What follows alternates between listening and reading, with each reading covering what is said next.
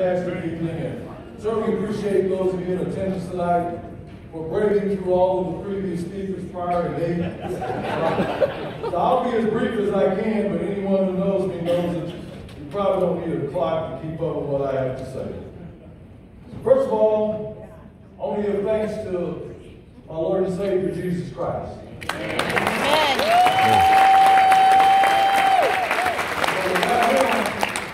I would not be here. I'm very thankful tonight for the people who have come to support me. I want to thank my girlfriend of 15 years who's been with me through thick and thin, through all the things that I've been through. In 2011, I was diagnosed with prostate cancer. But God saw fit for me to still be above the ground and not below. Amen. To be seen and not viewed. I want to thank her for her support. I want to thank my de- deceased mother, Stella Wright, who's probably watching down on me this evening. I thank all the deacons who drove me to church every Sunday morning. As a little child, my mom always saw fit that we were in church on Sunday morning. I thank my pastor, Billy Joe Watts, who could not be here tonight. We had a homecoming reunion in St. Paul, Minnesota, but I know he's here in spirit. I'd be remiss if I didn't thank a good friend of mine who got involved in radio, Joe Riddle, who now works for KYFM Radio 100.1 in Bartlesville, where I do a set, a Friday morning pigskin pit, something I started at KRMG some 25 years ago. I want to thank the Tulsa Public School Athletic Hall of Fame Committee, especially Mike Mims and Athletic Director Gil Cloud. This honor is very humbling for me. Uh, I don't take it lightly. I want to uh, recognize my two children tonight. Uh, Blair, who came all the way from San Diego, California. My daughter, Ryan Danielle Jefferson, the mother of my two precious grandchildren, drove up from Dallas, brought my son. my Dakota High School principal, Ms. Jennifer Campbell. She's not only my principal, she's probably the best instructional leader I've ever had. And I've been in this profession over 43 years. So thank you, Jennifer, for your attendance and your leadership. I'm also blessed to have in attendance the president of the OEA, Ms. Alicia Priest, one of my good friends, and the OEA executive director, Mr. Jim Key. Most of you may know that we had a very serious walkout in 2018. I was very involved in that walkout. A walkout brought lots of money to not only certified personnel, but also to ESPs. We continue to work hard, and I'm a proud member of the OEA Board of Directors, having served, now serving in my fifth term. I thank you to the OEA.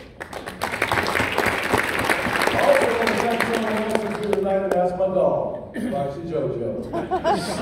Roxy Jojo was almost killed about a month ago by a pit bull. It's true. I was taking her out for a walk on a True story. Morning, thinking nothing would happen. True story.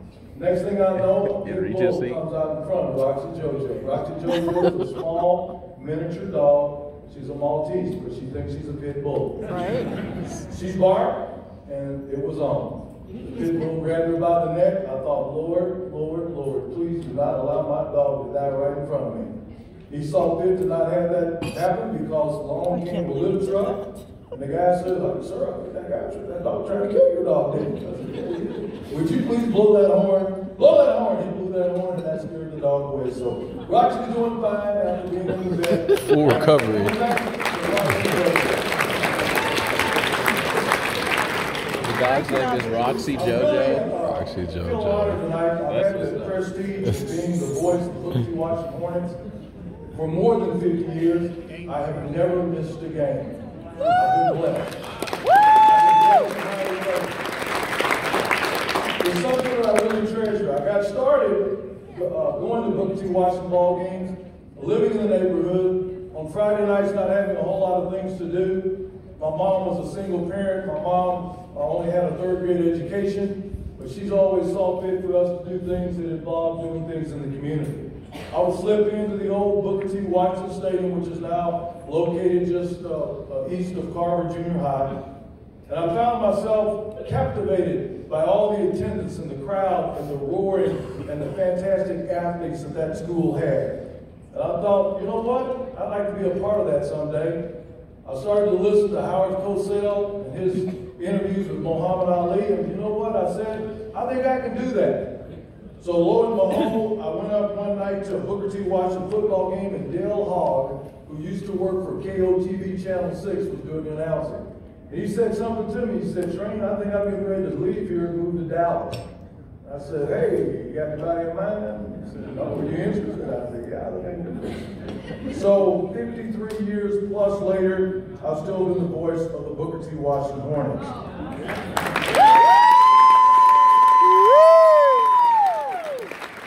I had an opportunity to work with a lot of great coaches, tend to be, tend to be exact. Ed Lacy, great man. I heard his name mentioned several times tonight. Robert Mays, Irvin Brown, Larry McGee, Ted Alexander, Leotis Robinson, Antoine Jemerson, Darrell Hall, Marvin Dantzler, and of late, uh, Gary Caleb. Just great individuals that I've had an opportunity to work with and had some great relationships. In addition to that, wow, the athletes that have come out of that school, I feel humbled just to be in company with these guys. Granville Liggins, 1964. Eddie McQuarters, Melvin Gilliam, 1985. Melvin Gilliam had a play in a ball game, I think it was 1983. The crowd was roaring, were getting ready to score. Somebody threw the ball, I think Gilliam threw the ball. Michael Davis, I think, caught it. And lo and behold, I said, touchdown, Hornets! Boy, you didn't even know what happened, but I'd already called a touchdown. Touchdown, Hornets win. Felix Jones, of course, Felix Jones went on to play for the Dallas Cowboys, University of Arkansas. John Winesberry, a lot of people don't remember him, 1970. Michael Harris, Tyler Lockett down in the NFL with the Seattle Seahawks. Oliver Ziegler, Ronaldo Works, R.W. McQuarters, Robert Meacham, Patrick Collins, Ruben Gant, Justice Hill, now playing for the Baltimore Ravens, uh, Ryan Humphrey, Reggie and Tony Brooks, who went to the uh, University of Notre Dame.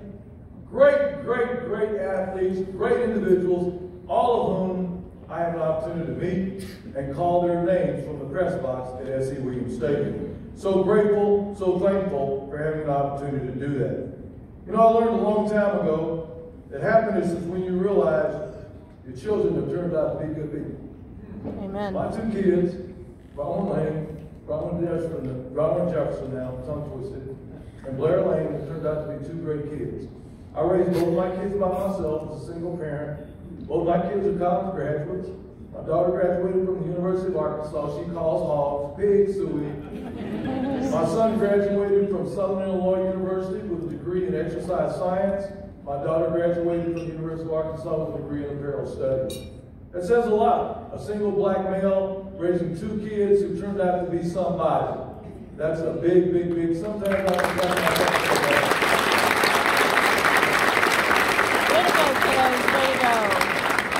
I know that uh, when you do a lot of football games, you have a lot of you have a lot of opportunities to create a lot of momentum in the crowd.